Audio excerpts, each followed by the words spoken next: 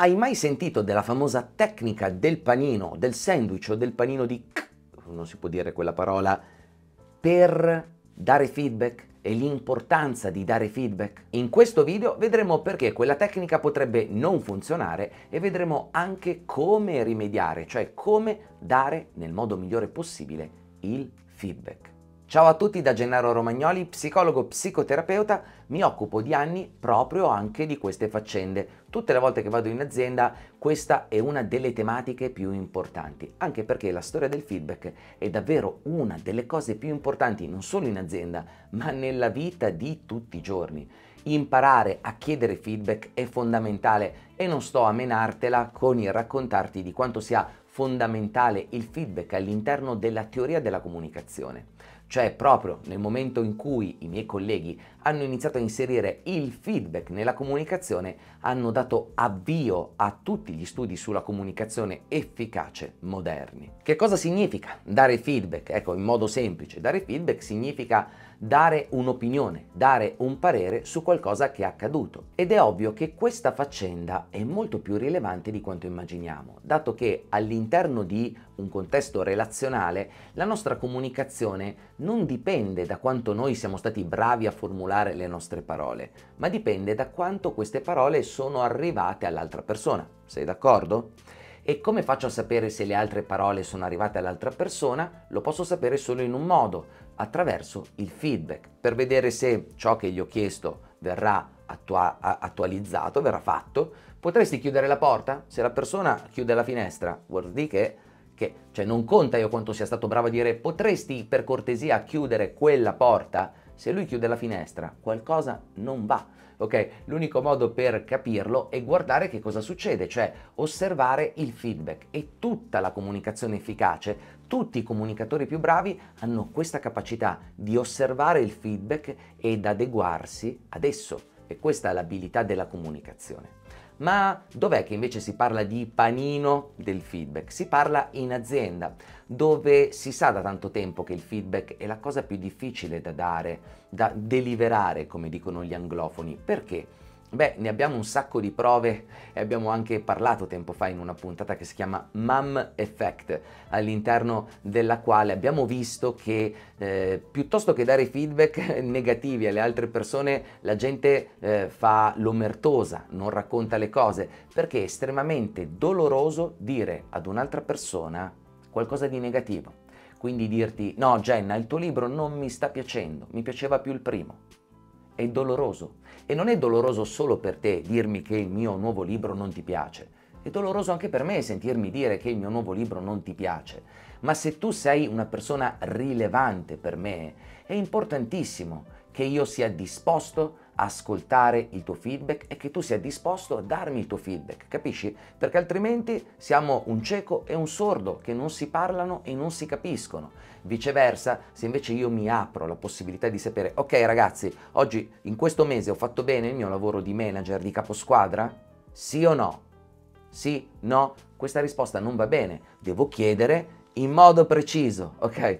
Dunque il feedback è difficile da richiedere, da dare, da formulare e non è un caso che i miei colleghi, i comunicatori, i manager, i trainer aziendali si siano concentrati su varie modalità per darlo questo benedetto feedback. E una delle più famose si chiama il famoso panino di a volte lo chiamano così. Io la prima volta che l'ho sentito è stato da parte di Robert Dills e poi dal mio amico Zio Hack, che hanno fatto la sua versione italiana divertente nel forse 2001 o 2002. In pratica consiste in questa faccenda qua. Consiste nella capacità di dare tre fette di feedback. Ammettiamo che io ti voglia dire che il tuo libro non mi piace, dato che siamo in odore di editoria, mettiamola così. Ah, a proposito, il libro a cui faccio riferimento è questo. Ecco, ammettiamo che questo libro non ti piaccia, o almeno a me non piaccia, io non sono, non sono l'autore del libro e, e, e voglio dirtelo. Ecco, la prima cosa che potrei dirti è così.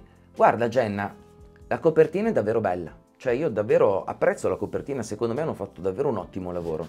Anche l'impaginazione è splendida, eh? Anche um, ho apprezzato i capitoli scritti piccoli, però, um, però, la prosa non mi piace. La prosa è un po' arzigogolata, non si capisce, non ci sono le note a pie pagina, manca la biografia. E ho apprezzato davvero molto gli esercizi che ci sono all'interno, cioè il fatto che ogni pezzo abbia un esercizio. Quindi bravo, complimenti. Che cosa ho appena fatto? Sono partito prima con un complimento, che bella la copertina, l'impaginazione, ci ho messo in mezzo la fetta di cacca, dicendoti che schifo, eh, hai fatto male, non ci sono le note. A proposito, se non ci sono le note, eh, perché non c'è la bibliografia?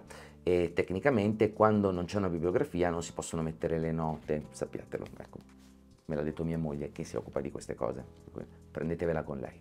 Ora, a parte questa battuta, la, la, terza fetta infine è un'altra fetta addolcente, cioè un'altra fetta dove ti dico però tutto sommato, quindi prima un complimento concreto, sincero, poi una fetta di schifezza, il feedback vero e proprio, quello che facciamo fatica a digerire tutte e due, sia io che te, tu nel darmelo, io nel riceverlo, ok? E poi un'altra fetta addolcente. E se questa tecnica non funzionasse così bene? Cioè, non fraintendermi, questa tecnica funziona molto bene perché, come hai visto, consente a, a, entrambi di tenere basse le difese. Cioè, tu non dovrai necessariamente partire da una cosa negativa e quindi non dovrai subito metterti lì sull'attacco e sulla minaccia. Viceversa, io che lo ricevo posso tranquillamente prima dire ah dai, ti piace il mio libro, anche se non ti piace la prosa, però poi alla fine ti piace. Ebbene, alcune ricerche attuali ci dicono che forse bastano le prime due fette, cioè basta prima la fetta positiva e poi la fetta negativa, perché la terza fetta positiva potrebbe inficiare il feedback in sé. In altre parole, se ci metto troppa positività, il fatto di nascondere, diciamo così, il feedback all'interno di questo panino, tra le pagine di questo libro, può far sì che il feedback stesso abbia meno effetto. Certo, se io voglio dire ad un amico che gli mi piace il suo libro e raccontandogli questa cosa, posso usare la tecnica del panino, ma se voglio dirlo a un mio collega e desidero che migliori la prosa all'interno del libro, sarebbe bene dire guarda, il libro, la copertina è bellissima, la struttura è fatta molto bene, ma io fossi migliorerei la prosa. La prosa perché è un po' arzigogolata, ecco. Quindi secondo me tu puoi farcela. In che modo miglioreresti la prosa? Come vedi non è completamente negativo ciò che sto dicendo. Cioè do la prima fetta, quella positiva, per abbassare le difese della persona, poi do quella negativa, il feedback vero e proprio, e poi do ispirazione e consigli pratici. Nota che non parlo mai di personalità. In altre parole non dico sei un bravissimo scrittore, ma dico qui hai scritto in questo modo, quindi scindendo il comportamento dall'identità, che è uno degli errori più gravi che facciamo dando i feedback. Sei un incapace, è diverso da dire non sei capace a fare quella cosa lì, lo sappiamo tutti, ma in pochi utilizziamo questo tipo di linguaggio. Dunque, dunque, quando noi vogliamo che l'altra persona modifichi il proprio atteggiamento, non dobbiamo mettere una terza fetta positiva, un altro feedback, ma dobbiamo aiutare la persona a sviluppare il feedback vero e proprio, dandogli un'ispirazione, dandogli dei consigli per ciò che potrebbe migliorare senza ergerci, tra virgolette, ai grandi saggi. A meno che non siamo davvero grande saggio per quella per sé, tu sei il capo redattore di un... Eh, ci siamo capiti. Ok?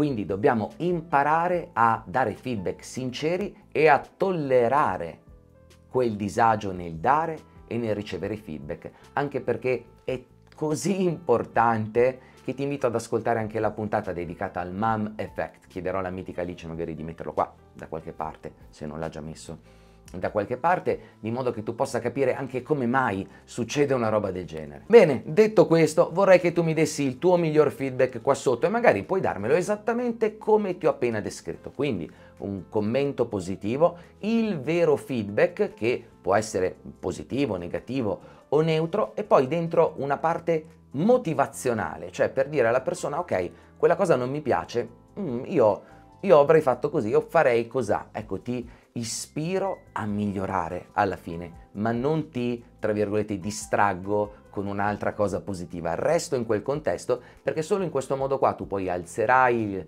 fondo schiena e inizierai a fare le cose. Bene, detta questa faccenda qua, dovete sapere che in tutte le aziende avrete sentito parlare di feedback, nei prossimi 5-10 anni sentiremo nuovamente parlare proprio di questa tecnica, ognuno gli darà il suo nome e il suo termine e non vedo l'ora che tu possa tornare qui e dire, beh Gianna l'avevi detto 10 anni fa, eh, capita, capita.